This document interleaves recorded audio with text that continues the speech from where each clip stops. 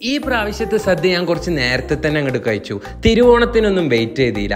ചില്ലറ സദ്യ ഒന്നല്ല അത്യാവശ്യം നല്ല അടിപൊളിയായിട്ട് ഇരുപത്തിരണ്ട് ഐറ്റംസ് ഒക്കെ സെർവ് ചെയ്യുന്ന ഒരു കിഡിലൻ സദ്യ കേട്ടോ കഴിഞ്ഞ ദിവസം ഞാൻ നമ്മുടെ കൊച്ചി ലുലുമോളിൽ പോയപ്പോഴേ ഊട്ടുപുര എന്ന് പറഞ്ഞിട്ട് ഫുഡ് കോർട്ടിൽ ഒരു കൗണ്ടർ കണ്ടു. കൊച്ചിയിൽ മാത്രമല്ല ട്രിവാൻഡ്രത്തും ഉണ്ട് കേട്ടോ ആദ്യം തന്നെ അവർ ഇല കൊണ്ടുവന്നിട്ടു. പിന്നെ ഓരോരോ ഐറ്റംസ് ആയിട്ട് നമ്മൾ ആ ഇലയിലോട്ട് ഇങ്ങനെ സെർവ് ചെയ്യാൻ തുടങ്ങി. ആ ഒരു സെർവ് ചെയ്യുന്ന കാഴ്ചയൊക്കെ കാണാൻ നല്ല രസമുണ്ടായിരുന്നു കേട്ടോ സത്യം പറയാലോ ഓണത്തിന് മാത്രമാണ് ഞാൻ സദ്യ അയക്കൽ അതൊരു പ്രത്യേക തരം ത്രില്ല് തന്നെയാണ്. എല്ലാം സെർവ് ചെയ്ത് അവസാനം നല്ല തൂ വെള്ള കളറിലുള്ള ആ ഒരു കുത്തരി ചോറും കൂടെ അതിലോട്ട് അങ്ങോട്ട് ഇട്ടു. എന്നിട്ട് അതിന്റെ മുകൾക്ക് നല്ല തിക്കായിട്ടുള്ള സാമ്പാർ ഒഴിച്ചിട്ടാ.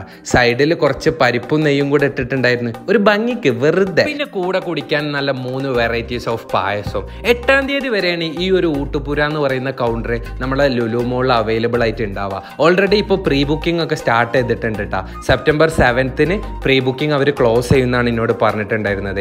എന്തായാലും നിങ്ങൾ നല്ലൊരു സദ്യ കഴിക്കണം എന്നുണ്ടെങ്കിൽ ജസ്റ്റ് ഒന്ന് കയറിയിട്ട് പ്രീ ബുക്കിംഗ് ചെയ്തോളും. അതിന്റെ ഡീറ്റെയിൽസ് ഒക്കെ ഞാൻ ഈ ഒരു വീഡിയോയുടെ താഴെ എന്തായാലും മെൻഷൻ ചെയ്യാം കേട്ടോ എനിക്ക് പേഴ്സണലി അവിടുത്തെ ആ ഒരു സദ്യ ഭയങ്കരമായിട്ട് ഇഷ്ടപ്പെട്ടു. എനിക്ക് മാത്രമല്ല എന്റെ കൂടെ എന്റെ ഫാമിലി ഉണ്ടായിരുന്നു അവർക്കും ഭയങ്കരമായിട്ട് ഇഷ്ടപ്പെട്ടു.